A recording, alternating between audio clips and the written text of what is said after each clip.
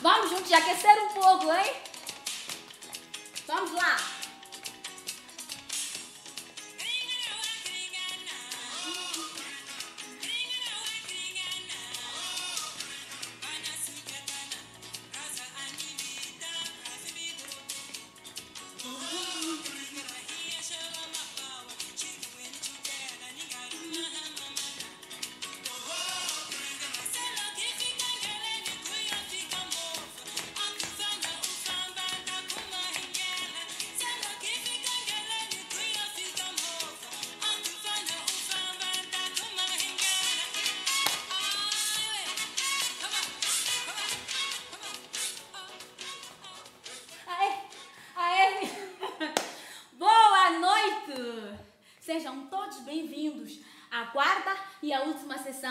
Ateliê de teatro em casa.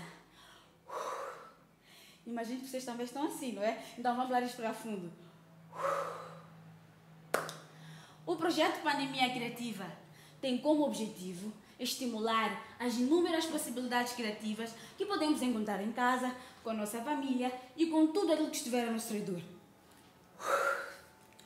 Eu sou Nélia Gilberto e hoje vamos juntos conhecer e explorar a técnica do si mágico.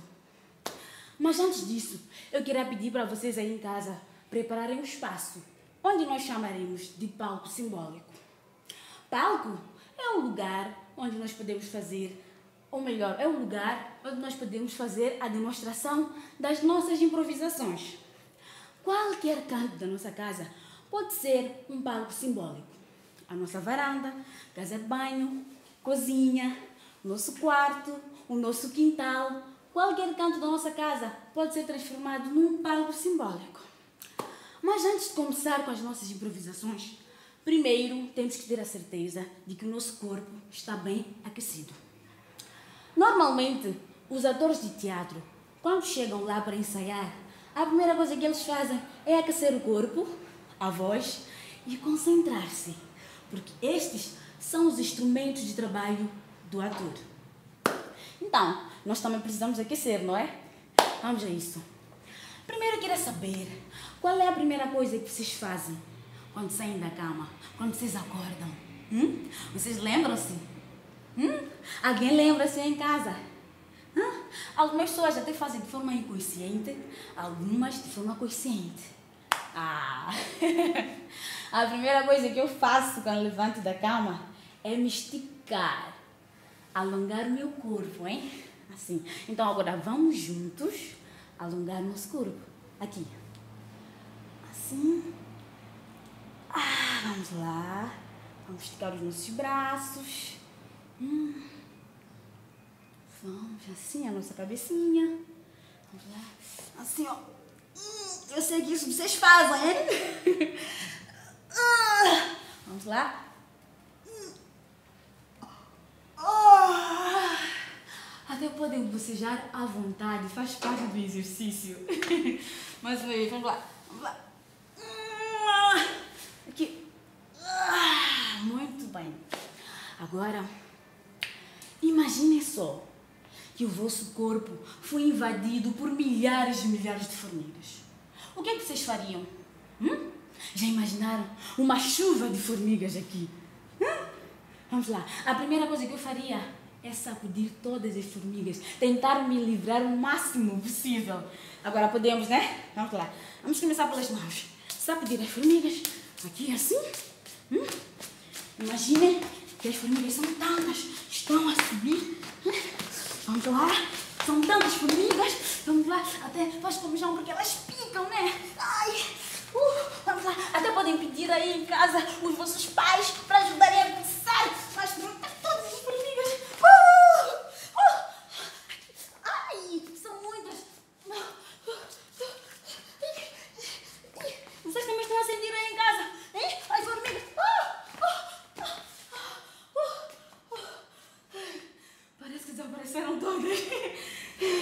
Vocês conseguem ver algumas formigas aqui? Ih, ih, Há uma aqui! Ih, essa.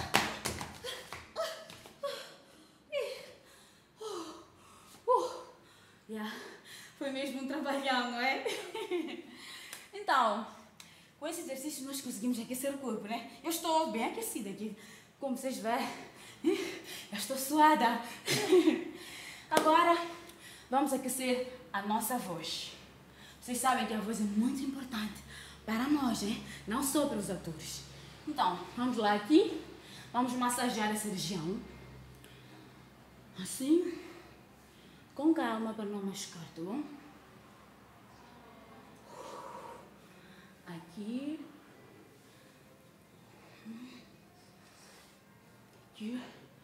Vamos esticar os nossos músculos. Para que a gente possa ter uma boa dicção. Pronunciar as palavras como deve ser.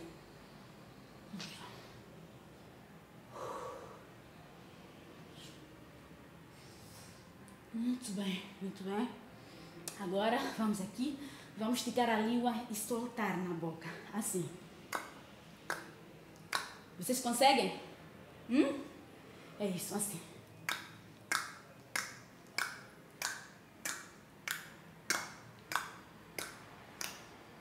Muito bem. Até podemos criar uma melodia com isso, hein? O que vocês acham? Assim.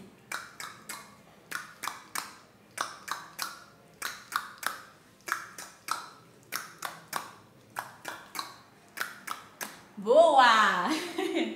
Agora vamos trabalhar a nossa respiração. Quando nós trabalhamos a respiração, automaticamente estaremos a trabalhar a nossa concentração. Hum? Então, vamos inspirar e expirar. Quando nós inspiramos, puxamos o ar pelas narinas e depois tiramos o ar pela boca. Tá bom? Assim. Para que vocês possam perceber, é só colocar a mãozinha aqui assim. Vamos lá. Inspirei agora e a minha barriga encheu de ar. Agora, expirou. Inspirou. Expirou. Inspirou. Expirou. Muito bem. Agora vamos inspirar e expirar, pronunciando as vogais. Assim. Ah.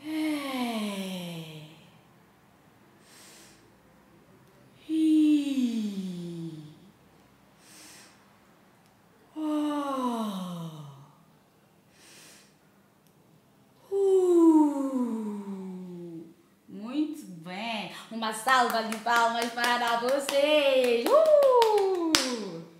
Então, esses exercícios vocês podem fazer sempre que puderem. Uma vez aquecidos, agora podemos entrar para o nosso tema.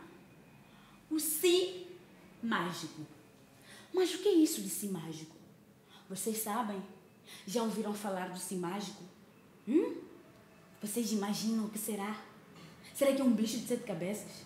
Não, não, não, não, não, não é não. O sim mágico é uma técnica de improvisação e de criação de personagens criada pelo ator e ensinador Konstantin Stanislavski. São as circunstâncias dadas que podem ser escritas ou imaginadas, mas que servem para situar as personagens.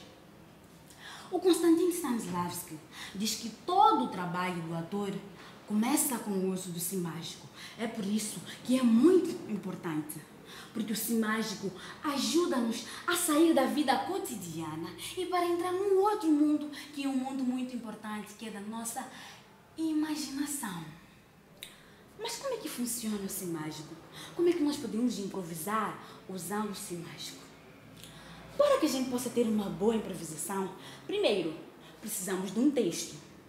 Pode ser um livro, onde nós vamos retirar um punhal de circunstâncias dadas assim como podemos uh, usar a nossa imaginação.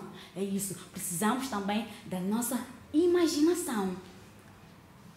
Depois disso, ah, usando a nossa imaginação, nós até podemos sair à rua, pá, de repente vemos uma situação e começamos a criar. Usamos a nossa imaginação para ir mais a fundo.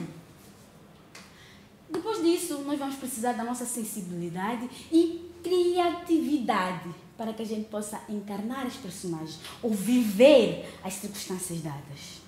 Eu tenho aqui um exemplo de como funciona uh, o si mágico na vida real. Imagine só, vocês encontram-se com um amigo ou familiar, não é? Conta-vos, ou melhor, que essa pessoa esteja a passar numa situação complicada.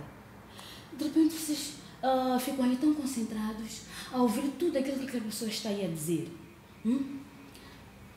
Passo a passo, vocês começam a digerir, começam a ouvir aquilo, aquilo entra até no coração.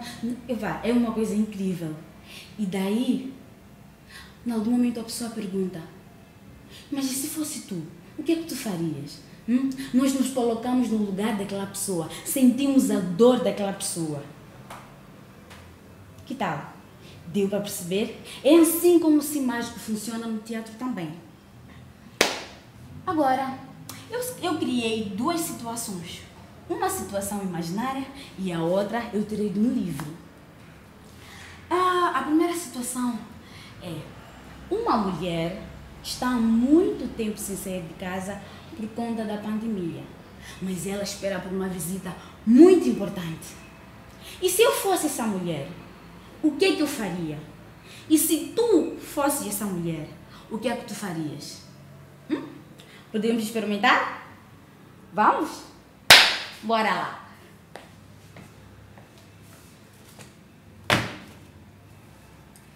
Eu tenho aqui esta saia. E a saia que eu escolhi para minha personagem. Ela chama-se Maria Isabel. Tem 48 anos de idade. Vive sozinha. Mas tem um filho que não mora com ela. Que tal? Podemos avançar? Bora!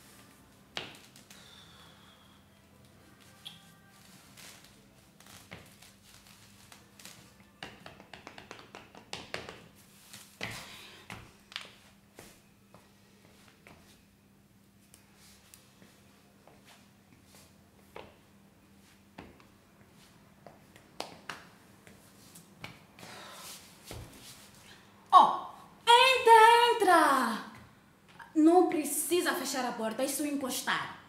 Ah, muito bem. Então, aproveita para lavar as mãos, hein? Hum, isso é bom. Por favor, sente-se.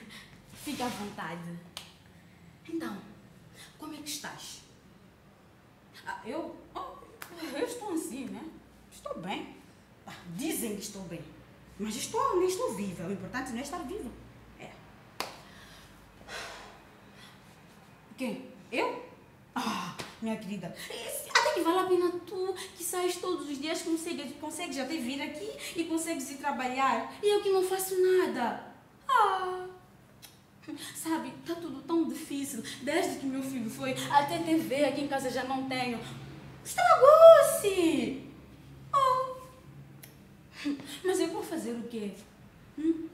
Hum? Estou aqui presa. Acreditas que eu até já conheço o número dessas chapas todas que estão aqui em casa? Oh, só ficam assim a contar um, dois, três, quatro. Todos os dias. Não tem como. Oh, mas o que é que eu posso fazer? Hum? Sabes, eu estou na sofrência. Na sofrência. Não há nada a fazer. Hã? Como assim? É tu tens a solução para isto? Mas é o problema é que assola todo mundo. Como assim? Ah, não, não é, não é possível. Vocês aí em casa acreditam no que ela está me a dizer? Ela diz que eu posso sair de casa sem sair de casa, mas usando a minha imaginação. É possível?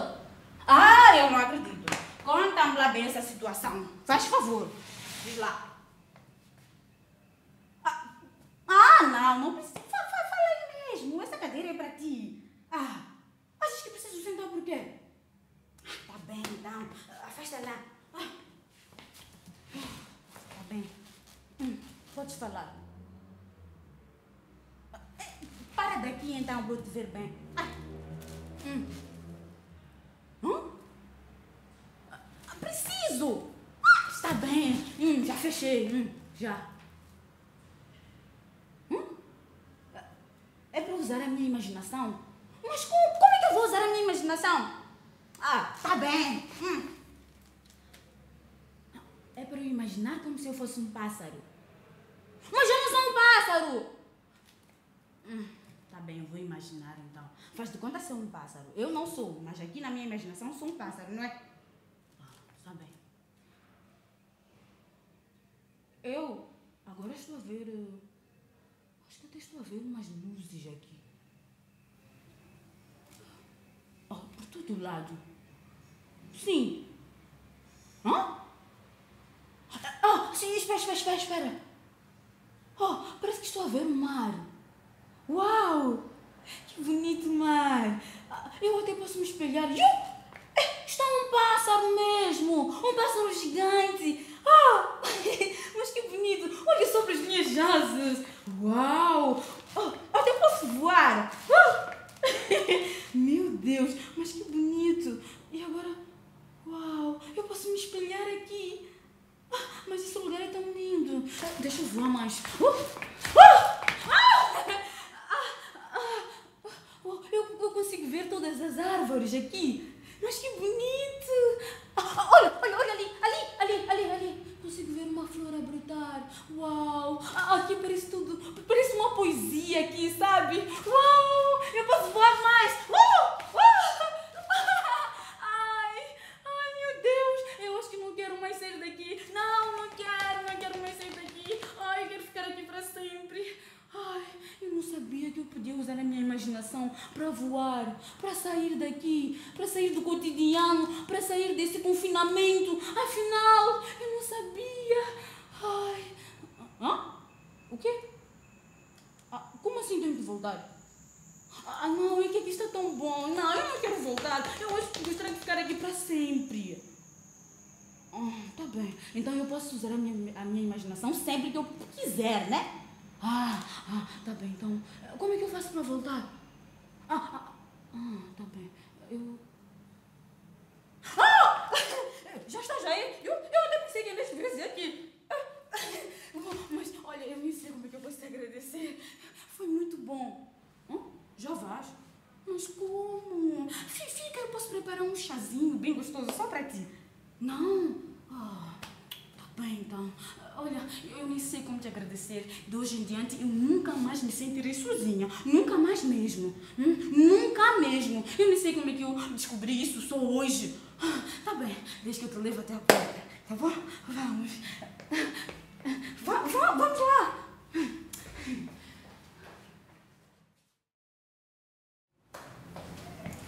Tal? Deu para vos inspirar para as vossas improvisações? Hum? Muito bem. Agora eu vou fazer mais uma improvisação, claro, usando o mágico.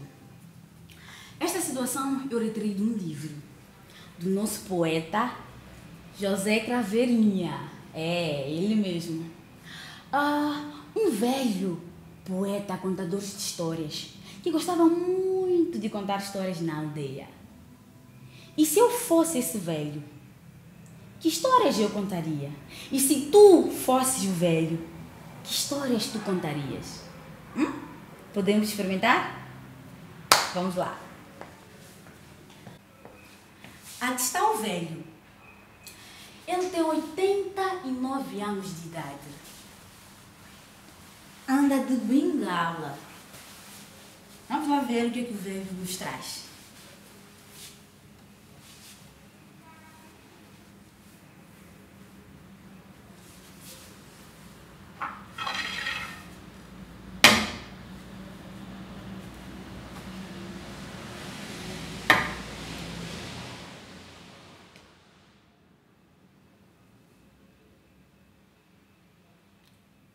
Era noite.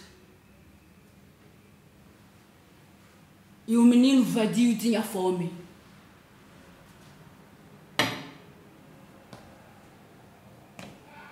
Na papaera, a papaia estava madura e o menino vadio estendeu a mão.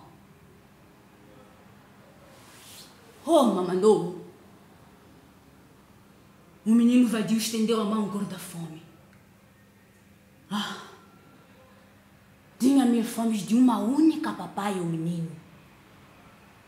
E a papaya estava ali, toda madura. Mais madura que a libra de ouro no bolso do Mulungu Souza.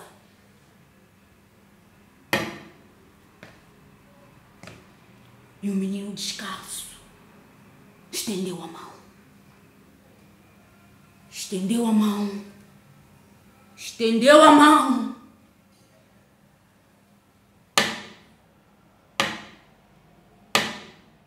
Mas de repente um homem atrás do muro.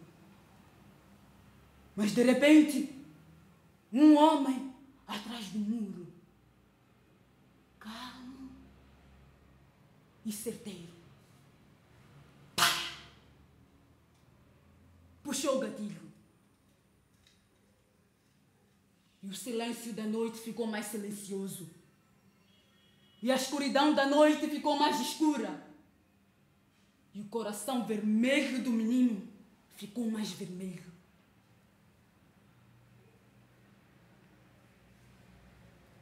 Era noite na papaera, a estava bem madura. O escuro no meio do escuro estava mais escuro.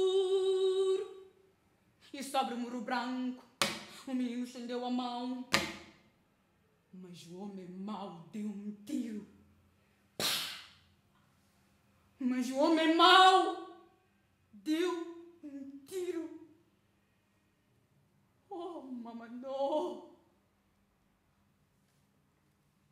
menino caiu. Oh, mamãe, O menino caiu. Menino vadio já não pede mais esmola. Menino vadio já não tem mais fome. Menino vadio já comeu toda a bala. A bala do homem mau. Afinal, não era o menino que tinha fome. Era o homem mau de Chamanculo que tinha fome do menino. Não era o menino. Não era. Afinal, afinal, é a bala do homem mau que tinha fome do menino. Afinal, afinal,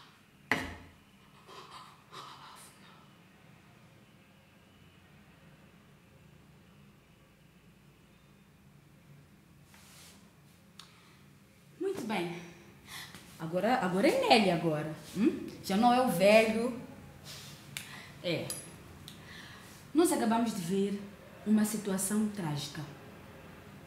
Nós podemos encontrar situações do gênero cômico e situações do gênero trágico. O importante é nós vivemos as personagens. O importante é nós vivemos as personagens. É encarnar as personagens. Viver as circunstâncias dadas com verdade. Nos colocamos no lugar das personagens como se fôssemos nós. hum? E dizemos: e se eu fosse personagem tal? E se eu fosse personagem X? É assim como Si Mágico funciona. Muito obrigada. Quero aproveitar esse espaço para pedir a vocês para que gravem as vossas improvisações. Aproveitem, inspirem-se e mandem para nós, que nós iremos adorar. Agradecer à Fundação Fernando Leite Couto por este espaço. Agradeço ao Venâncio Calixto pela iniciativa. Agradecer também aos autores que fizeram parte deste projeto. A Isabel Jorge, o Samuel Yamatate, a Eunice Mangate e a vocês que sempre estiveram aí nos acompanhando. Muito obrigada. Era noite na papaeira, a papaya estava bem madura. O escuro no meio do